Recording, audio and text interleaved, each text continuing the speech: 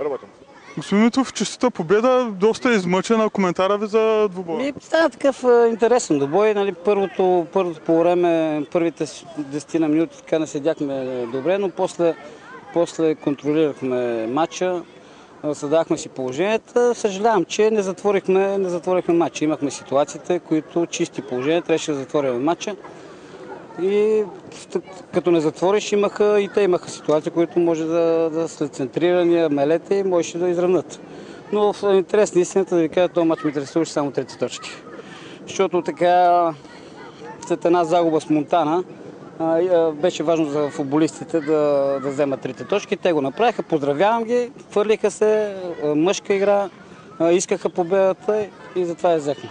А какво ви попречи да затворите по-рано матча, тъй като продължението дори един удар на Георги Петков можеше и да ви коства трите точки? Имахме ситуациите и то чисти 100% и в числено превъзходство в, отпред, но последния пас, завършващия удар, нали, втори гол, втори гол. Имаме, аз не го крия, вижте, как, както и да ви звучи, ние сме абсолютно нов отбор с доста нови футболисти и интересуваме до нова година да обиграем отбора.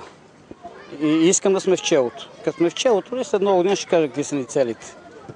А поне с днешна дата какви са целите? Целите играем матч за матч, победа, всеки матч търсим победата и обявяваме отбора. Искам да изградим един добър отбор.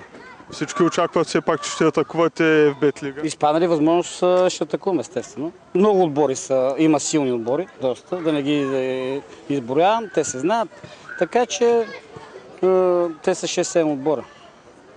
И нефтохимик, нищо, че казват, че не искат да влизат. Аз знам, че искат, защото виждам футболистите, знам треньора им, знам изпълнителен директор, амбициозен човек и, и Литък са много добър отбор, и Монтана са много добър отбор, и ЦСК са добър отбор, Септември също много добър отбор.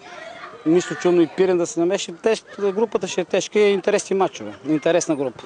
Изредихте почти цялата втора лига. Означава ли това, отбор, да, така. означава ли това, че втора лига тази година ще бъде една от най-силните, които някога За е? мен се очертава доста силна. Единственото, което, което ще се дигне още нивото на футбола, е терените. Терените. Затова и ние нали, правиме терен в Пади, който ще бъде от най-хубавите терени в България. Играеме Брациго, не е на толкова добър терен, но има ли терени, ще дига нивото на футбола. Това преди а, да- 10-12 години Мъри Стоилов само повтаряше, го казваше човека, ама абсолютно е прав. На хубав терен се играе футбол. Добре, понеже започнахте тази тема, как виждате да се разреши този въпрос, който не е от вчера? Ме, вижте, държавата прави доста. Направи доста за А група, почти всички терени са хубави. Почти всички. Аз съм сигурен, че ще помагат. Ето, помагат и на нас, помагат и на други отбори. Да правят всичко възможно. Нали? И Министър Кралев и господин Борисов абсолютно много дават за спорта и, и с тяхна помощ трябва да стане. Благодаря.